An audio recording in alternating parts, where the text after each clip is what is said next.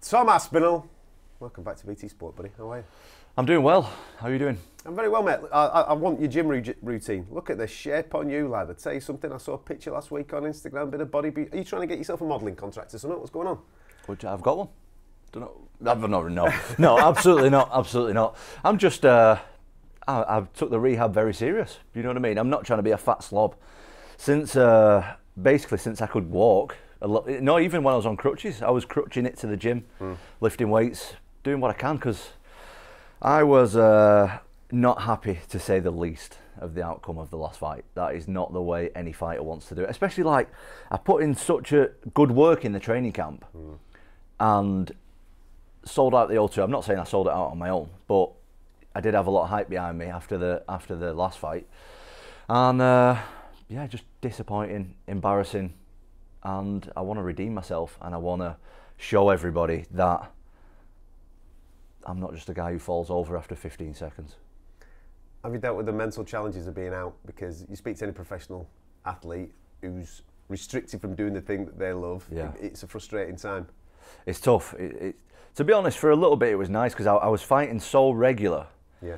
that it was a lot of pressure building up and stuff, and I, I did enjoy the little time. The, the hardest bit for me was like right after surgery, and I couldn't walk, and the kids are off in the summertime, and I planned on going seeing the family in Poland for like four weeks after, so I had like loads of work workers coming to like do my house up and stuff, but I had to return home early for surgery. So then the whole family come back with me, and I remember just being sat there. I had like ten workers in the house working on the house, asking me questions. I couldn't walk. The kids wanted stuff, and it was just horrendous. I was just sat there thinking, "This is not good." but we're back now. We're moving forward. There must have been a temptation to rush it because obviously we've got a massive card, 286 London, big pay per view event. People would expect your name on that card in any other time Yeah. when, when, when you're fit. You're obviously back, you're training, you're training properly again. Why just pump the brakes, take the time, and make sure that you're absolutely 100% before? Well, I was relatively fit when, like, from like six months out, I couldn't, I could spar again and everything. Like, I was relatively fit. Uh, but I feel like I rushed it. Uh, the knee problem's been going on for a long time, and now it's fixed and everything's great. But I feel like I was kind of pushed into. I, I said yeah to a few stuff that I wasn't ready for before, and I don't want to do that again. And I'm aware that I need to be able to take kicks in it off someone my size, and mm. that's not an easy thing to do. And I want to make sure that I'm. I ca- that can't happen again. Like I can't be lay on the floor holding my knee again. Like that just can't happen ever again. So I want to make sure that I'm like 100% ready to go when I come back. I can't like let myself down and the fans down like that again. I just can't do it. So I want to be 100% set the world on fire when I come back, not half do it. So, in your head, give us a date. Give me July. give- July. I've got an opponent as well. So Game on. well, it's Are you not allowed to tell us what? no. You're Well, not it's been verbally agreed publicly, so I'm, I think if I tell you that, I might get told off. so, okay. but it's been. Uh, do your research, bro. Why you not do your research? Yeah, but I'm not allowed to say it. yeah, because well, I'm not allowed to say it. I'm not allowed to say it either. But uh, Right. it's been verbally agreed. No contracts and nothing. Are we yet. allowed to say where it is? No, I don't know where it is. Uh, There's no con- there's no contract signed. But- there's no date, it's- but, I've got an opponent. That's the most important thing. Okay, but it's highly likely to be at a certain place. Uh? I, I don't know. I don't know. I honestly don't know about this, people are going to be watching this interview going, these two guys know stuff and they're not even saying the I'll- stuff. I know my opponent, Fair enough. But I don't know anything else. That's all I know. And the most important thing is getting an opponent. So Yeah. um, a lot of the top ten were already they're already booked. Basically, all the top ten apart from the one guy that we've agreed to fight. So Yeah. that's why we were uh, going with him. Yeah, that might be. Uh, I'll just let you know. that's very likely. Just let you know that it's in anyway, right. I don't know if it's in London. You're saying it's in London. I don't actually know how- if it's. There's a London. high chance, right? Yes, We'll move on for it, yes. just in case both of us get into trouble. Um, what have you made of the division moving on in that period of time? Because obviously now Jon Jones is the heavyweight champion. super world. interested in it. Like, um, I feel like it was all stuck for a little bit. And Ngannou didn't really want to take a fight, but he didn't want to be out the UFC.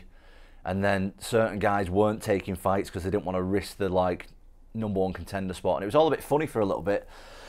And now it's just opened up massively. The GOAT is the champ of my division, which is amazing.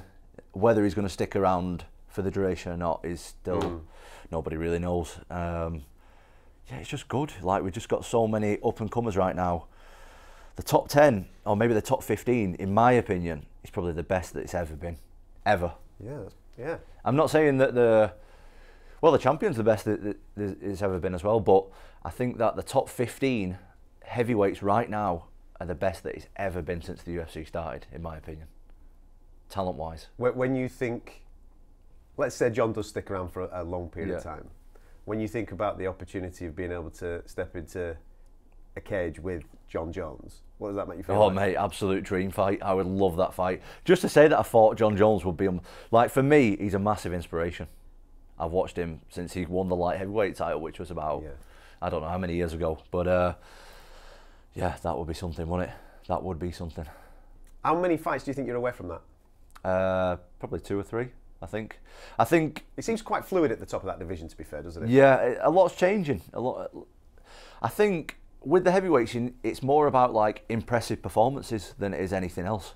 I think if you can get an impressive knockout and an impressive finish, that's better than a five. Like, let's say Blades and uh, Pavlovich fought, Yeah. and Blades held him down for five rounds, Yeah.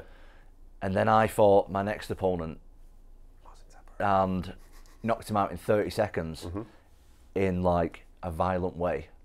I think that would put me, even though I'm ranked lower than Blades, that would put me like maybe a little bit. Of, it just depends on that. It's all even, about excitement. Even what you've just said there, if we if we cast our minds back to this time last year when you were fighting Volkov here, and the performance against Volkov when we've just seen Volkov do what he's done against Romanov, Mm-hmm. that in fact, with retrospective look at it, actually boosts the, the level of how impressive that performance was. yeah, I, th- I think uh, a lot of my wins age well. Yes, they are doing they- it. they Yeah, are doing. Like Spivak's coming on really good now. Yeah. Volkov. Well, Spivak, when I fought Spivak, he was on a five fight win streak. I beat him, and now he's on a three fight win streak. Yeah. And similar with uh, Volkov as well. He was on a win streak. I beat him. He's on a win streak again against a couple of good guys. See his fight with Rozenstruik. He looked unbelievable. Mm. Absolutely pierced him with the right hand straight down the middle. It was Volkov's no joke. Same with Spivak. Spivak's a, uh, me and Spivak are probably going to fight each other again at some point. We're both young guys, up and comers, around the top five, top ten. We're probably going to fight closer to a title at some point. Um, and yeah, everyone's doing well. Uh, the heavyweight division is amazing right now. So, are you anticipating at least one more after July this year? Oh yeah, yeah. I'm not in a rush. I'm in no rush. I'm not even thirty. Yeah, but yet, so- activity activity is key, isn't it? Oh, you, you mean for this year? Yeah, Oh, I want to fight twice this year. Easy. Yeah, Yeah, yeah. definitely, definitely, definitely. I'd love to do that. And then maybe next March, which would be UFC 300 time ish. Yeah. That, that sounds quite nice for a, a world title shot, doesn't it? does sound pretty good. It does, but like I say, I'm not in a rush. I'm not like I need to win the title right now. I'm not not like that. I'm in it for like the long haul. I'm I'm aware that like heavyweights usually, if you look at the state of the heavyweight division for the last like 10, 15 years, usually, generally speaking, heavyweights peak between 35 and 40. I'm not even 30 yet, so I'm completely aware of that. Baby faced assassin, mate. I am nearly 30 though. I'm 30 in a couple of weeks, but I'm still claiming the 20s for right now. Are you But- doing anything for it? Nah, I, I don't like the fuss. I don't like the fuss. I'll go out for a few drinks and that, but uh, yeah, I'm not too bothered. And just to finish off, mate, um, I have to concede. Last time we spoke, it was about the gravy on the fish. You now know that. Yeah, but you got a London one. You That's not Yeah, but you know I've tried it. good though, isn't it? It's all right, actually. It's, it's very good. Underrated. Um, you did it a bit wrong, in my opinion, though. Go on. You poured it on top of the fish, didn't What's you? with If it touches, it's all right, but you can't go direct. Direct's a bit. That's full on. I've gone all in. That's. I wouldn't trust you with my kids doing stuff like that. I wouldn't trust you in the care of my children. But if it touches, uh, it's all right if it touches, but straight on top, that's frowned upon heavily. Uh, as you as you can see, it's going to be quite an entertaining week with you presenting TV wheels. Um, yeah, I'll on- try and keep it at bay. BT Sport. I'll try and keep it at bay. Are you looking forward to it? I am looking forward to it. Yeah, it's nice to be here, and hopefully, I don't know yet. Saturday night's not come. Hopefully, not have anyone try and punch me on Saturday. That that is quite nice. Not have the stress of someone trying to uh, knock me out on Saturday. But we never know. We never know. Hopefully, no one will. But uh, it doesn't seem that way anyway. Mega. There you go. Our new co-presenter this week, Tom Aspinall, with myself and Nick, uh, bringing you UFC 286 on BT Sport.